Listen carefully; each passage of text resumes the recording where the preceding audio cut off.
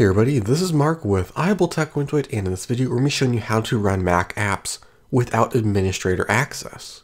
So as you can see right here, I go to try to delete something and ask for username and password. So this computer is managed by an administrator, but I don't have those credentials.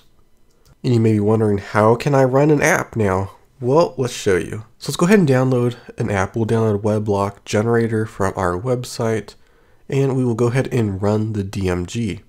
Now it's going to say drag the app to your applications folder, and if we do that, it's going to need authentication, a username, and a password. But again, we don't have that stuff, so how do we do it? Well, what you want to do instead of dragging it to the applications folder is drag it to your downloads or your desktop or anything other than applications. Now, if we double click the app, you can see it asks, are you sure you want to open it? We can say open, as you can see it runs perfectly fine.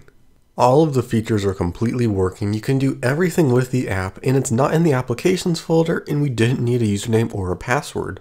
Now just to show you, I've made an applications folder on the desktop and I threw in a bunch of apps doing the same method.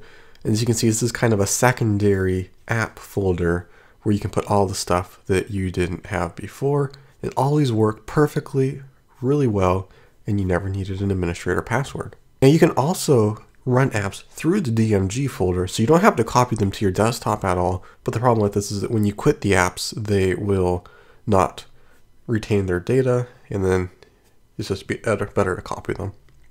Now, the only way that this does not work is if you're downloading an app that requires the installer package.